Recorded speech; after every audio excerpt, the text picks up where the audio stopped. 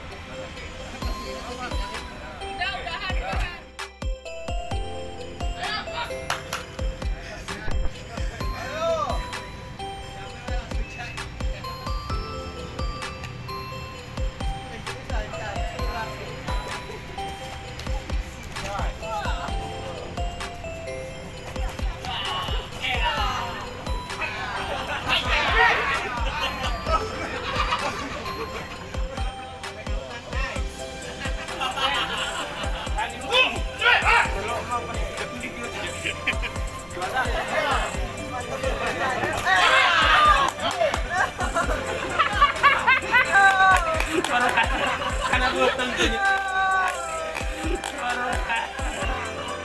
đã vượt từng từ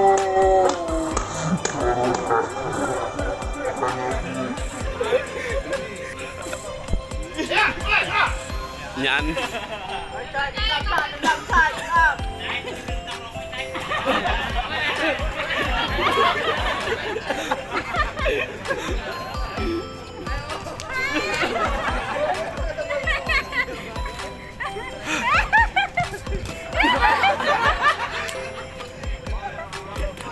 先放。你？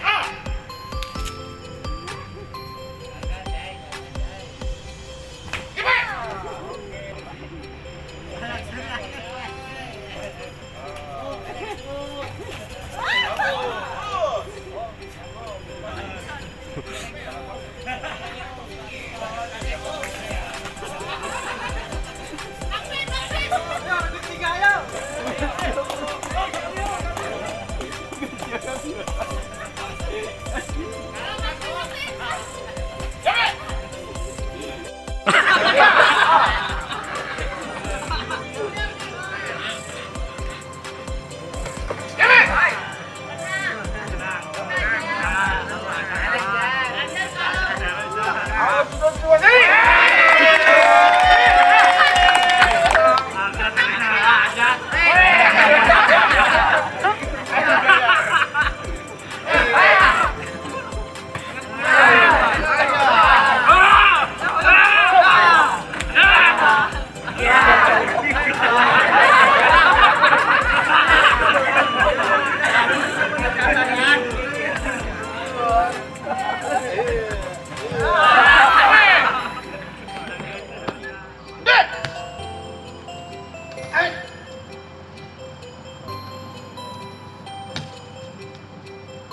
哎！